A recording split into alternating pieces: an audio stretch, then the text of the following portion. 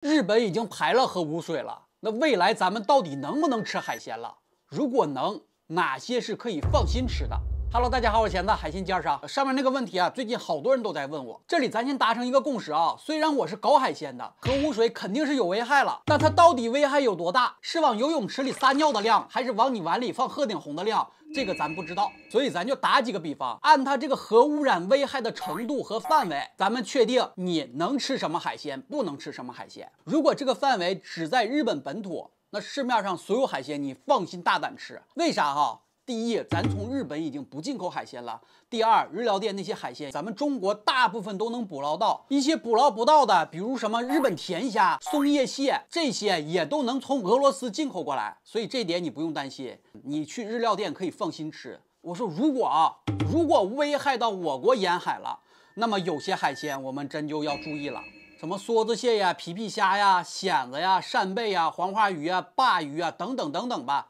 这些海鲜。就基本都是国产的，没有进口的。你自己凭感觉，你要不要吃？那它都烧到中国了，那你旁边的东南亚呀、俄罗斯呀，你也都都可能心里犯嘀咕了，是不是？老虎虾就基本从越南、泰国呀、马来西亚、印度尼西亚这些国家进口。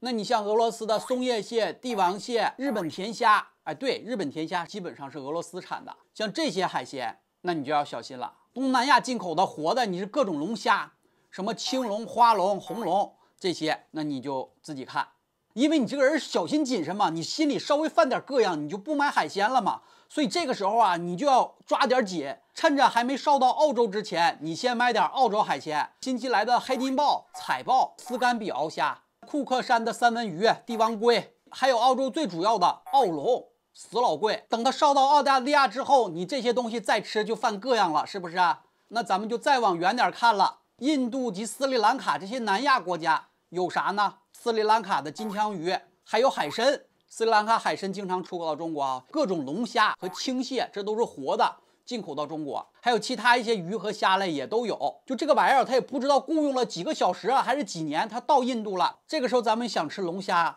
很多种类的渠道已经没有了，但也不是完全没有，就是欧洲以及美洲还有非洲那一撇的海鲜都有啥？比如北美洲的波士顿龙虾，这个咱能吃。南美洲的古巴龙虾，还有非洲一些地区的龙虾也都可以。那螃蟹咱们能吃什么呢？北美洲的珍宝蟹，北大西洋那些国家，就是北欧那些国家的面包蟹，咱们都能吃着活的。活的帝王蟹已经在俄罗斯那块沦陷了，但是咱们市里这附近还有熟冻的帝王蟹进口到中国，所以帝王蟹你还能吃到，只不过都是冷冻的了。到目前为止，你要想吃虾，一点不用担心，因为我国进口的虾百分之八十来自南美洲的一个小国厄瓜多尔。题外话啊，我卖厄瓜多尔白虾已经卖了两万多单了。最近他们耍无赖，这几天我的销量是平时的四倍啊！想要的你们上我橱窗去买去啊！除了厄瓜多尔白虾，产自地中海的红魔虾也可以买，野生的，我橱窗也有。阿根廷红虾，南美洲野生的，我我橱窗也有。北极虾，北欧那些国家产一部分，加拿大主要产区野生的，我橱窗还有。非洲也产一些虾，比如我之前卖给你们的斑节虾、斑竹虾，虽然学名叫做日本对虾，但是它的产区还是挺广泛的。我卖给你们的，我橱窗里的。就是非洲捕捞的，一百多两斤包邮。大部分三文鱼你们也可以放心吃。三文鱼分为大西洋鲑和太平洋鲑，北欧是它的主要产区之一，比如挪威的大西洋鲑。南美洲也是主要产区，比如智利的大西洋鲑和太平洋鲑，这些都是养殖的。想吃点野生鱼，法国银鳕鱼，野生的，产自南极法属的两座小岛，学名叫做南极犬牙鱼和。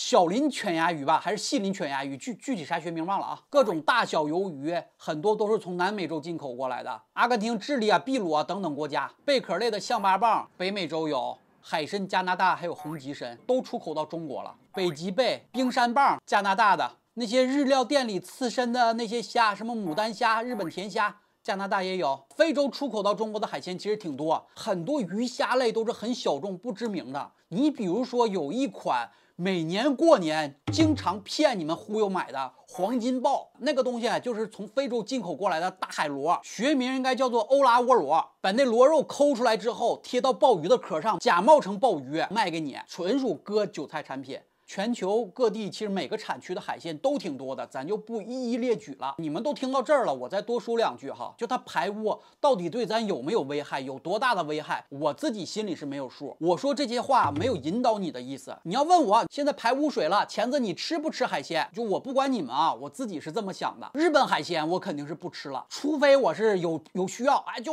一一百万个人情愿，钳子你快吃吃那个核废水海鲜吧，尝尝啥味儿？你能不能你长八个眼睛六只熟？人多我可以去尝试一下子，不然日本海鲜我肯定不吃。那其他地方海鲜，你要是没有一个人吃，我就肯定不吃。你要超过一半的人都在吃，那我就吃。你要受不了了，夸夸降价，降价一半以上我就买。你要是涨价了，我就不买。就像我橱窗里那厄瓜多尔白虾一样，前阵子各个主播直播间都卖爆单了，现在供应商借机涨价，成本价每箱涨价五十块钱，逼得我们也没办法了，背到每盒成本涨了十块钱。我说实话，我挺讨厌这种行为的，发国难财。所以你们要是不着急，可以先别买。